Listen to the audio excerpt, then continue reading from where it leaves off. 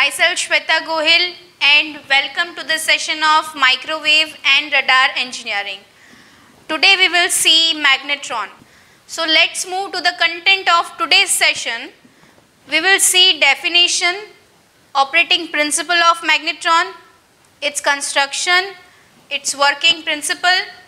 We will see frequency pushing and pulling, advantages, disadvantages of magnetron and last we will see applications of it.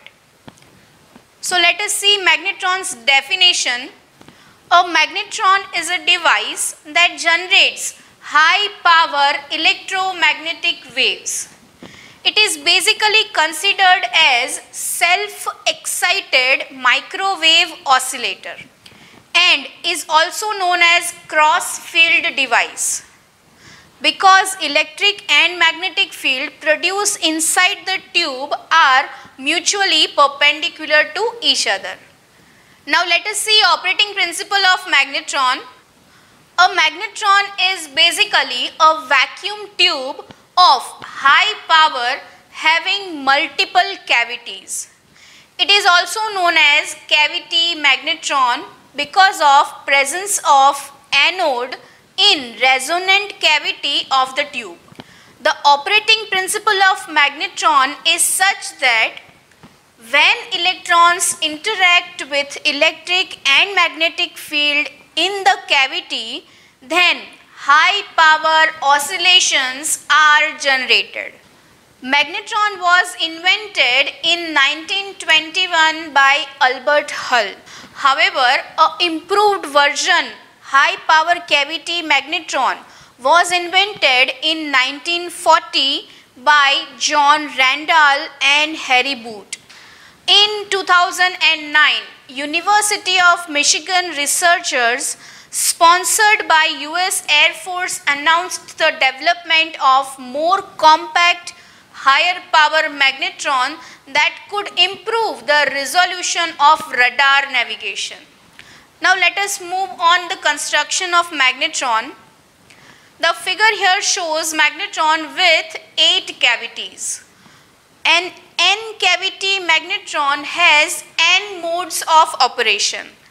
This operation depends upon the frequency and phase of oscillations.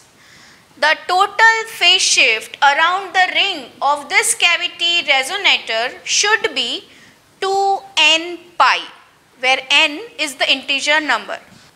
A cylindrical magnetron has a cylindrical cathode of certain length and radius present at center around which cylindrical anode is present. The cavities are present at the circumference of anode at equal spacing. Also the area existing between anode and cathode of the tube is known as interaction space or interaction region. It is noted here that there exists a phase difference of 180 degree between adjacent cavities. Therefore, cavities will transfer their excitation from one cavity to the another with the phase shift of 180 degree. Thus we can say if the plate is positive then automatically its adjacent plate will be negative. And this is clearly shown in the figure given below. More specifically, we can say that edges and cavities shows 180 degree phase apart relationship. As we have already discussed that here electric and magnetic field are perpendicular to each other, magnetic field is generated by using permanent magnet. Now let us see working of the magnetron. The excitation to the cathode of magnetron is provided by DC supply which causes the emergence of electrons from it. Here in this section we will discuss the working of magnetron under two categories. The first without applying the RF input to the anode and second with the application of RF input. So let's see when RF input is not present.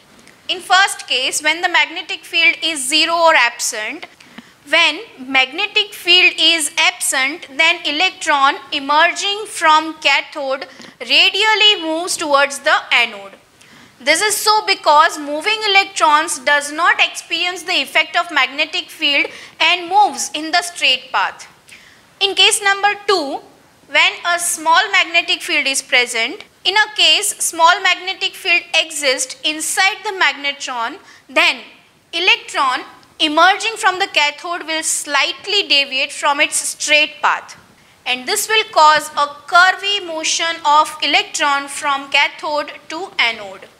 In case number 3, when magnetic field is further increased then electrons emerging from cathode gets highly deflected by magnetic field and graze along the surface of the cathode.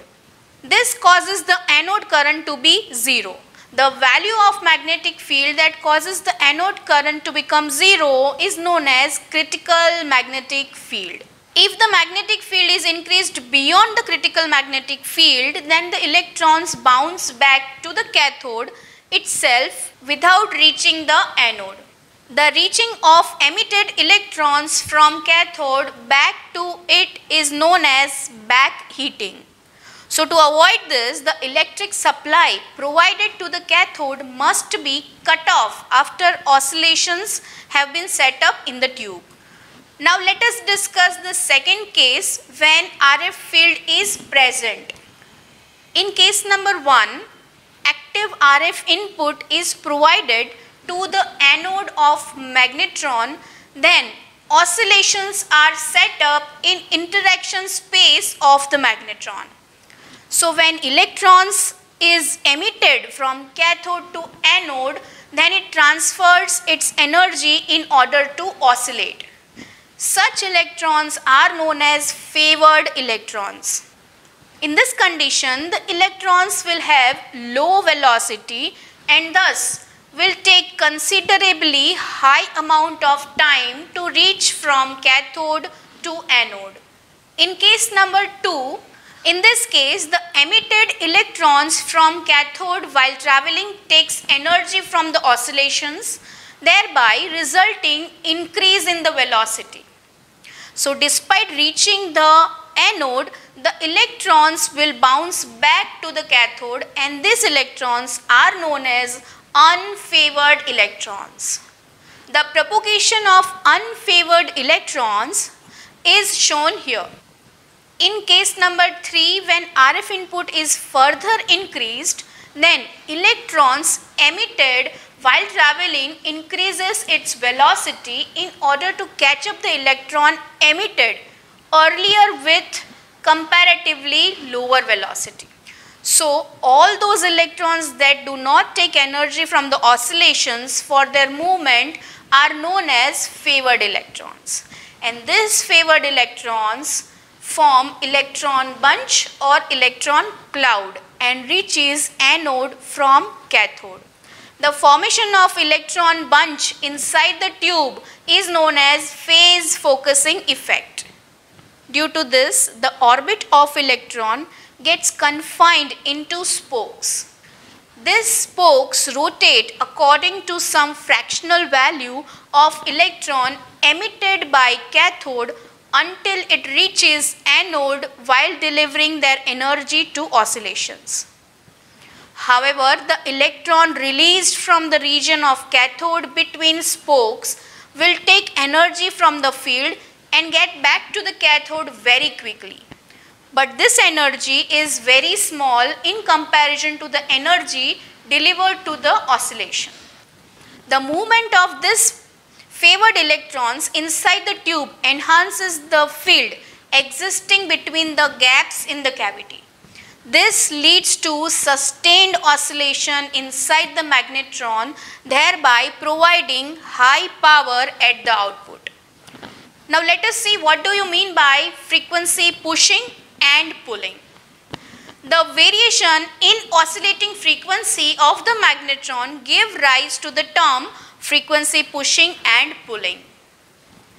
When the voltage applied to the anode of the magnetron is varied, then this causes the variation in the velocity of the electrons moving from cathode to anode.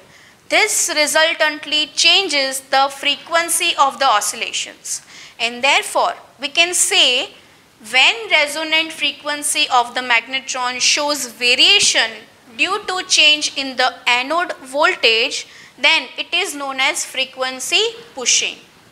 The change in resonant frequency is sometimes a result of change in the load impedance of the magnetron. The load impedance varies when the change is purely resistive or reactive.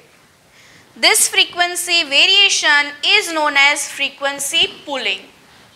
A steady power supply can provide reduction in frequency variation. Now let us see some of the advantages of magnetron.